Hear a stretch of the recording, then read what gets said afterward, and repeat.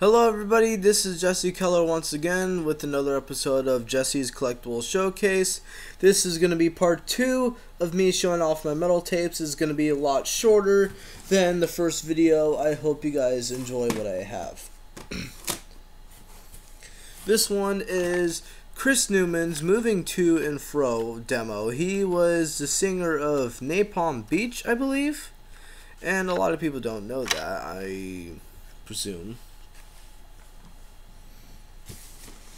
This one is Kiss Smashes, Thrashes, and Hits. This is the only album that has the song Let's Put the X in Sex, and I got specifically for that song. Even this one is Led Zeppelin 1, even though it's in a physical graffiti case. That's kind of sad if you ask me, but I got this at the Goodwill for 10 cents. It is a little warped, but it's still pretty good sounding. This one is Bad Company's self-titled album, Bad Company. I got it for 50 cents at the Goodwill. I've only listened to it once. The shape it's in is pretty good. This one is Led Zeppelin 2. I got it for 4 bucks at that record store in Everett where I got Master of Puppets. Uh, this one is an Aerosmith mixtape. This is another one that I got from my grandmother on my birthday. This one I actually got on Valentine's Day a couple of years ago. It is uh, Superunknown by Soundgarden. And it has, you know, Spoon Man and Black Hole Sun, which are two of their more famous songs on there. This one is a single of If I Close My Eyes Forever, which is a duet featuring Lita Ford and Ozzy Osbourne. This one is High and Dry, Def Leppard's second album, another one that I got from the uh, Value Village for 50 cents. This one is Poison, Who Let... Look What the Cat Dragged In. This is their first album I got at Value Village for 50 cents.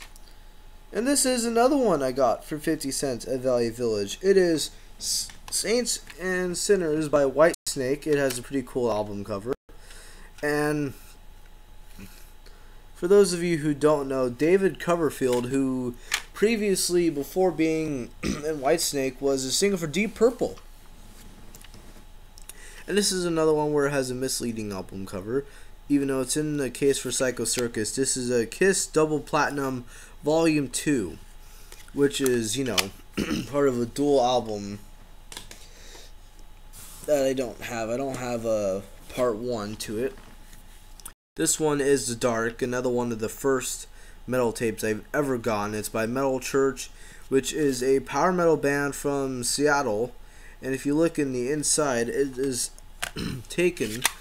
Picture of the band is taken in front of a Gasworks Park, which is like a popular park to go to in Seattle, which I've been there. It's a fun place to go. This one is Led Zeppelin. On one side it is two, and on the B side it is three. Some of the records that are recorded on the tape, like this I got from my grandma, are actually vinyl like record from vinyl on the tape, which makes it pretty cool to listen to. This one I haven't listened to yet, but on side A it is Coda, and on side B it's Houses of the Holy, which is, you know, Led Zeppelin. This one is Love at First Sting by the Scorpions. I've listened to this one once. I got it for 50 cents at Value Village. This one is Bandolier by Budgie. Budgie is uh, the band that uh, had this song, you know, band uh, Breadfan, which was popularized by the Metallica version on Garage Inc. or Garage Days Revisited, whichever one you listen to.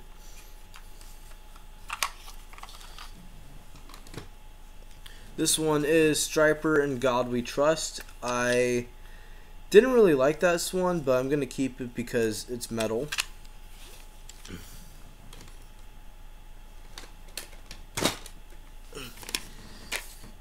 This one is Black Eagle, which is a demo from a Seattle metal band in the 90s. I don't know how the water, I don't know where this uh, water keeps coming from, but it dripped onto the cover, unfortunately. And, yeah. That kind of pisses me off right there. I need to fucking get that fixed before I flip out. I have bad anger issues, as you can tell.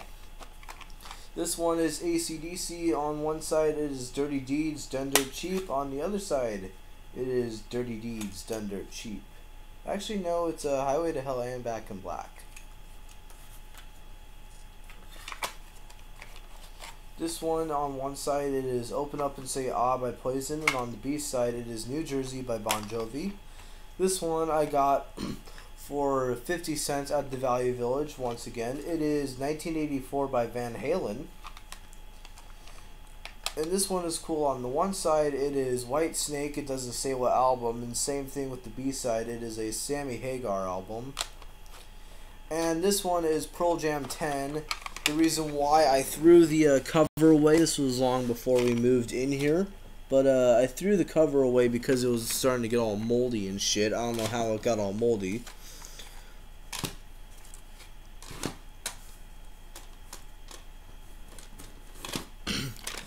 This is one that I got for $8. It is a Polish copy of Kill 'Em All. And sadly, it doesn't have Metal Militia, and it cuts in between Cliff's bass solo and Whiplash when you change sides. This one is Led Zeppelin. On one side, it is their first album. On the second side, it is In Through the Outdoor.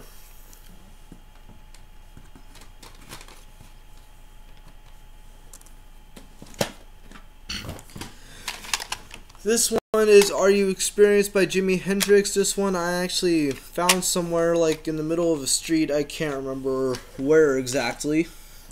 This one I got from the Goodwill. One of the few ones that are metal that I got from the Goodwill. Which is pretty fucking cool. I remember listening to this every single day during the summer walking around with the Walkman and stuff. You know, just cruising. This one is a Blue Oyster Cult on side A. It has Mirrors and Spectres. On the B side, it has Agents of Fortune, Cultosaurus erectus. I don't know what the fuck that means, but it sounds dirty. Fire of Unknown Origin.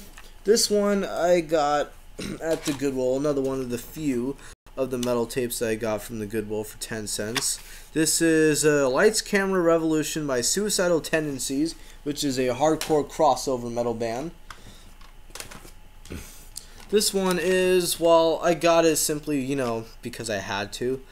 I don't like the album, but this is the Black Album. The start of Metallica going downhill, if you ask me. That's just my personal opinion, though. I got that for uh, 10 cents at the Goodwill. This one I got for 50 cents. It is Slide It In by Whitesnake. Kind of a sexy album cover right there. This is the American release of Alice Cooper's Greatest Hits. And that one I got at the Goodwill. This one, I don't remember where I got it. It is a ZZ Top Eliminator, which has some of the more greatest hits on.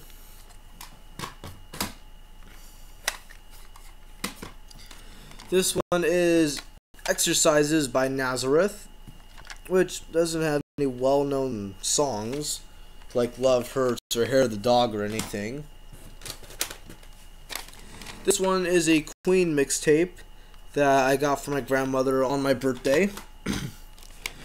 this one is Highway to Hell, which I got half off for uh, 750 with the price tag being uh, 15 bucks at that same record store where I got a Master of Puppets and a Led Zeppelin 2 This one is Expect No Mercy. I do like the cover of this song because it's pretty fucking loud to listen to.